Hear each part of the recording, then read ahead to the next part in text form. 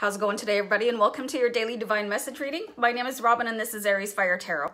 Thanks so much for joining me on the channel today, you guys. I really appreciate it. If you're not currently a subscriber, please take a second and tap the subscribe button. It really helps me out on the channel, and I really super appreciate it. So the deck I'm using today is the Animal Allies and Gemstone Guardians. And this is a two-sided card. On one side, there's a gemstone, and on the other, there is an animal. In this case, there's a ladybug. So I'm just going to start reading from the card because there's no companion book. And here's my trusty prop. So, Ladybug, my imagination is the key to my success.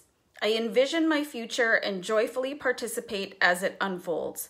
I am so incredibly lucky. I have many blessings in my life. Abundance and prosperity are constantly flowing in my life. And then on the other side is the, the Heliodor. I really hope I'm saying that right, but I'm, you know, taking a stab at it. So this says, do you believe you are lucky? Are you taking time to use your imagination and release your wishes to be fulfilled? Visualize your goals. Believe that any and all challenges dissipate with great ease. Imagine your life as if it has already filled with abundance, good health, happiness, and inner peace. Like, I just love this card, you guys. This is such a great card for those of you um, trying to manifest anything into your life. Um, you really just have to constantly keep that picture in your mind. Some of you might um, do vision boards, which is a board of like pictures or whatever it is, words of what you're trying to manifest. Um, being grateful really helps. Uh, being grateful for the thing that you're trying to manifest will magnetize to you it to you a little bit faster.